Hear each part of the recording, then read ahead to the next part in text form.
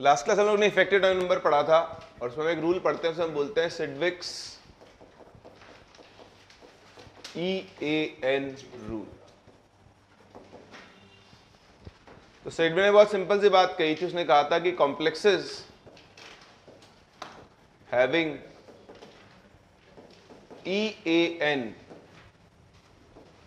equal to next noble gas ठीक है complexes having E A N equal to next noble gas are relatively more stable.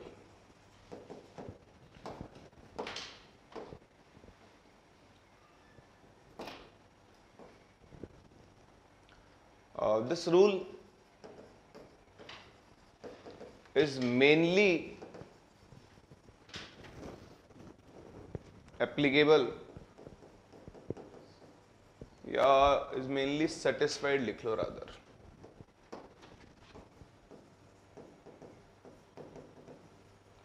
By metal carbonyls यानी इसमें metal हो plus जो ligand है, वो कौन होना चाहिए? कार्बन मोनोऑक्साइड होना चाहिए. For example C O whole five like M N C O whole five ये आपके पास हो गया लेट से N I C O whole four इस तरह के जो कॉम्प्लेक्सेस में कार्बन मोनोऑक्साइड मेनली लिगेंड की तरह काम करता है, उनके लिए ये मेजरली एप्लीकेबल होता है. बताओ इन तीनों में इफ़ेक्टिव एटॉमिक नंबर कितना कितना है?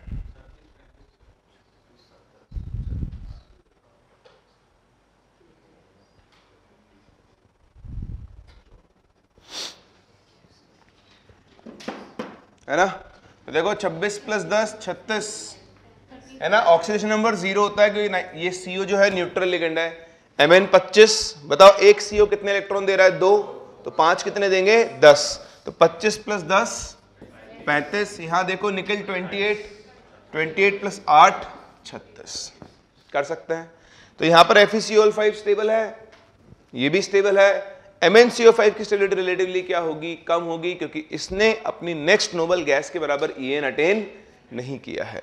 तो आप गिवन कार्बोनिल्स में स्टेबिलिटी कंपेयर कर सकते हो कि गिवन कार्बोनिल्स में कौन ज़्यादा स्टेबल होगा और कौन कम स्टेबल होगा। पहली बात। बोलो, इतना समझ में आता है? अब आप देखो carbonyl having carbonyl having electron less than the atomic number of next noble gas will have a tendency to gain electrons. And thus will get reduced and can act as an oxidizing agent. Oxidizing agent क्या होता है? जो खुद और सामने वाले को आप देखो MnCO होल फाइव बताओ MnCO होल फाइव का ई एन कितना है? 35 बताओ 36 पहुँचने के लिए इसको एक इलेक्ट्रॉन चाहिए। तो जैसे ही एक इलेक्ट्रॉन गेन करेगा M N C O whole five minus बना लेगा। और इसके पास अब 36 इलेक्ट्रॉन हो जाएँगे। तो दैट मीन्स इसके इलेक्ट्रॉन गेन करने की बहुत हाई टेंडेंसी होगी। तो इलेक्ट्रॉन गेन करने की हाई टेंडेंसी तो खुद क्या हो रहा है? रिड्यूस और जो खुद रिड्यूस होता है, वो सामने लोग क्या करेगा? ऑक्सीडाइज तो ये ध्यान दें, यहाँ से आपको एक और चीज़ इंपॉर्टेंट सीखने, देखने को मिल रही है कि इसके अंदर अगर आप ऑक्सीडेशन नंबर ऑफ़ मैंगनीज निकालो तो वो माइनस वन आएगा। क्या आएगा? यानी मेटल कार्बोनिल्स के अंदर मेटल नेगेटिव ऑक्सीडेशन स्टेट भी अटेन कर सकते थोड़ी बात क्या डाइजेस्ट नहीं होती कि मेटल के ऊपर माइनस वन चार्ज तो ऐसा हो सकता है, जो आपके मेटल कार्बोनिल्स हैं, उनके अंदर जो आपकी मेटल होती है, वो माइनस वन चार्ज को अटेन कर सकती है। कॉपी करें? चलिए, इसी तरह देखो, अगर किसी के पास ज़्यादा इलेक्ट्रॉन है तो? सो कॉम्प्लेक्स हैविंग इलेक्ट्रॉन्स या इलेक्ट्रॉन्स मत लिखो E A N greater than next noble gas will have a tendency to lose electrons and will act as reducing agent तो अगर इसके पास नेक्स्ट नोबल गैस से ज़्यादा इलेक्ट्रॉन्स हैं तो उस केस में ऑब्वियसली वो इलेक्ट्रॉन लूज करना चाहेगा ई एन को अटेन करने के लिए। जैसे मैं आपसे बोलता हूँ कि मान लो मेरे पास है C O C O whole five C O C O whole five बताओ कोबाल्ट का atomic number twenty seven twenty seven plus दस थर्टी सेवन जबकि ई एन कितना होना चाहिए? थर्टी सिक्स तो ये क्या करेगा? एक इलेक्ट्रॉन लूज कर देगा। तो बना लेगा CO CO whole five plus plus एक इलेक्ट्रॉन और अब ये किसकी तरह काम कर सकता है? एक रिड्यूसिंग एजेंट की तरह। ऑल दो नीट में कभी पूछा नहीं गया और शायद पूछा भी नहीं जाएगा। बट पूछ ले तो पूछ ले, कोई क्या कर सकता है? है ना? जेई में तो दो तीन बार पूछ चुका है कि ये चार पाँच एक क्वेश्चन लिख देगा which of the following carbonyl can act as reducing agent तो रिड्यूसिंग एजेंट कौन होता है? जो खुद ऑक्सीडाइज होता है। खुद ऑक्सीडाइज कौन होगा? जो इलेक्ट्रॉन लूज करेगा। इलेक्ट्रॉन लूज कौन करेगा? जिसके पास इलेक्ट्रॉन ज़्यादा होंगे, ज़्यादा कब होंगे? जब उसका एन नेक्स्ट नोबल गैस से क्या आएगा? ज़्यादा। मतलब 36 से ज़्यादा है या 54 से ज़्यादा है या फिर 86 से ज़्यादा है।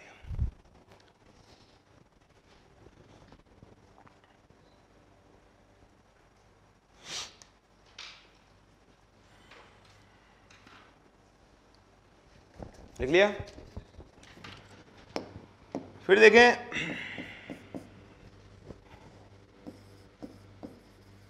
Some carbonyls form dimers to attain noble gas E A N तो कुछ आपके पास कार्बोनिल्स ऐसे भी होते हैं जो नोबल गैस ईएन को अटेन करने के लिए आपस में जुड़ जाते हैं डाइमर्स फॉर्म करते हैं। ठीक है? फॉर एग्ज़ाम्पल आपके पास है M N C O whole five देखो, इसका ई एन कितना है? थर्टी फाइव तो अपना ई एन थर्टी सिक्स करने के लिए ये एक्चुअली फॉर्म करता है M N two C O whole ten इसके अंदर क्या होता है? ध्यान से देखना, ये एम एन है, ये एम एन है, फिर आप ड्रॉ कर लेना। एक बार समझ लो ना, फिर समझ में नहीं आएगा आपको। तो M N two C O whole ten है तो देखो, इस एम एन से पाँच कार्बोनिल ग्रुप्स कोऑर्डिनेट बॉन्ड के थ्रू जुड़े होते हैं। दो, तीन, चार और पाँच। ऐसे इससे भी पाँच सीओ कोऑर्डिनेट बॉन्ड से जुड़े होते हैं। दिख रहा है? और ये दोनों एम आपस में क्या होते हैं? कोवलेंट बॉन्ड से जुड़ जाते हैं, इस तरह से। तो आपको इलेक्ट्रॉन गिनना आना चाहिए। आदान प्रदान बहुत अच्छे से देखें, ठीक है? देखो, ये एम था। बताओ एम के पास कितने इलेक्ट्रॉन होते हैं? 25 कितने होते हैं? 25 ये कौन सा बॉन्ड है? कोऑर्डिनेट बॉन्ड कोऑर्डिनेट बॉन्ड में सीओ जो दो इलेक्ट्रॉन देगा, वो MN के अकाउंट में भी काउंट होंगे और सीओ के अकाउंट में भी काउंट होंगे। तो देखो, इस MN के पास 25 इलेक्ट्रॉन तो पहले ही थे। दो यहाँ से आए, दो यहाँ से, दो यहाँ से, दो यहाँ से, दो यहाँ से। 25 और 10 35 ये दोनों ने अपना एक एक इलेक्ट्रॉन शेयर किया है। एक नॉर्मल कोवेलेंट बॉन्ड है। तो दोनों के अकाउंट में एक एक इलेक्ट्रॉन काउंट होगा। होगा, नहीं होगा? तो बताओ, इस एम एन का ई e कितना हो गया? 36 और इस एम एन का ई e भी कितना हो गया है? 36 बोले, समझ में आ रहा है? ये स्ट्रक्चर एनसीईआरटी में दी हुई है, ये आपको पता होनी चाहिए। ठीक है? दिस इज़ इंपॉर्टेंट कोई दिक्कत? सब कर लो कॉपी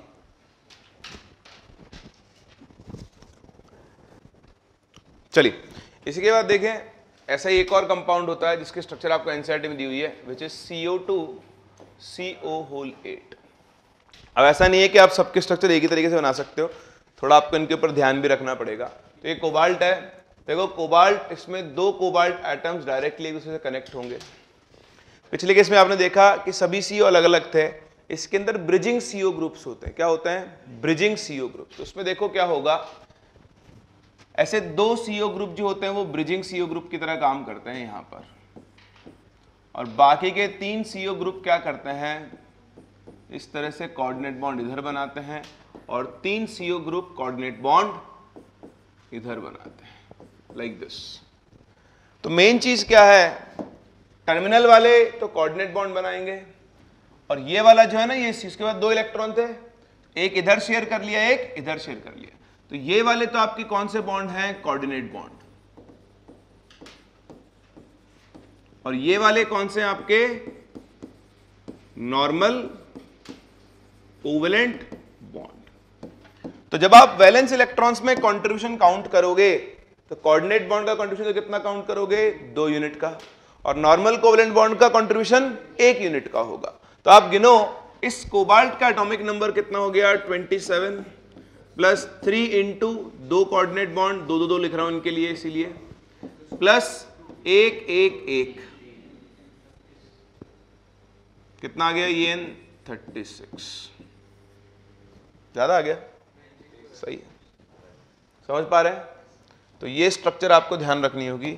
एक और बता रहा हूँ सिलेबस में तो नहीं है, उसे हम बोलते हैं F E two C O whole nine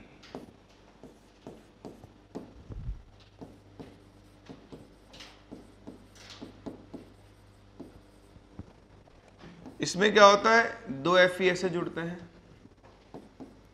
सी O C O C O C O C O और सी ओ और यहाँ पे दो की जगह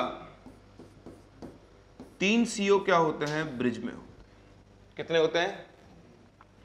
ठीक है? अब आप गिनो इनके लिए। क्या? स्ट्रक्चर है ऑब्ज़र्व स्ट्रक्चर होती हैं। ई एन सेटिस्फाई करना होता है।